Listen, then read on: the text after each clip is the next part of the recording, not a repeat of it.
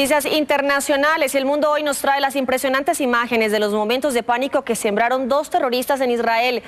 Pero vamos a comenzar en Israel, donde hoy lamentan la muerte de cuatro personas víctimas de dos terroristas palestinos. Como represalia, el gobierno israelí congeló los permisos de trabajo a 83 mil palestinos que ingresan diariamente a laburar a su territorio. Estas son las impresionantes imágenes del momento del atentado. Por su manera tranquila de caminar, era casi imposible adivinar la macabra intención con la que estos dos hombres llegaron a un restaurante en Tel Aviv. Eran las seis y media de la tarde, el restaurante estaba lleno, todo se convirtió en un infierno. Los dos hombres que vestían con el traje típico de los judíos ortodoxos, es decir, de negro, abrieron fuego contra los clientes del lugar.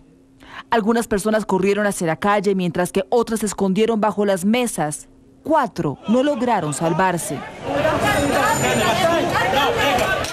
Ido Benari, de 42 años, cenaba con su esposa y sus dos hijos. Mila Meshayev, de 33 años, tomaba café con una amiga mientras discutían los detalles de su boda. Michael Feige era un reconocido antropólogo. Elana Nava, de 39 años, era madre de cuatro niñas.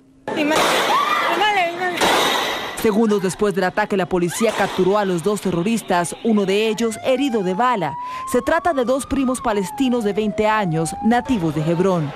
En las últimas horas, el ejército israelí demolió sus casas como represalia. Además, canceló el permiso de trabajo a 83 mil palestinos y reforzó la presencia militar en Cisjordania.